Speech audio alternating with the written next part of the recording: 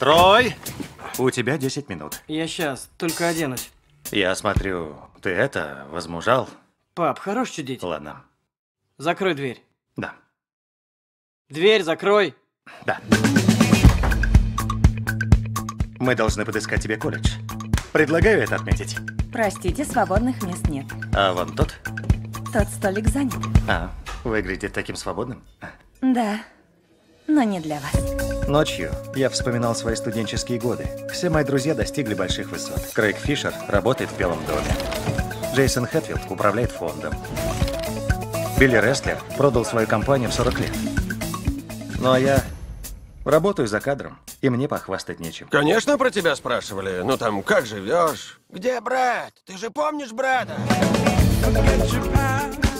Счастливо. Люблю тебя. Звони. Ага. Люблю тебя. Это сильный вуз, Трой.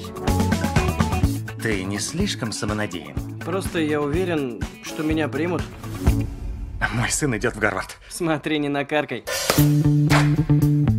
Мой сын одаренный музыкант и даже пишет музыку.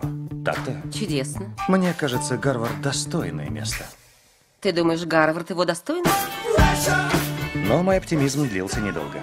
Поступить туда непростая задача. Это Гарвард. Там даже гениев обламывают. Придется сильно попотеть. Пап, я могу уже идти на собеседование? Или ты вечно будешь прыгать надо мной? Хорош.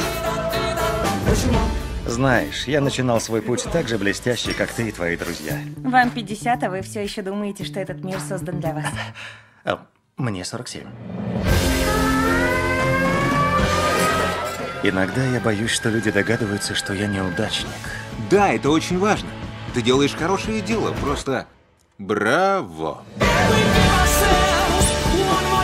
Твои друзья кретины. Они думают только о себе. Единственный, кому ты не безразличен, это я. Разве не чудо, что мы вырастили такого сына, такого достойного, хорошего человека? Я горжусь тобой.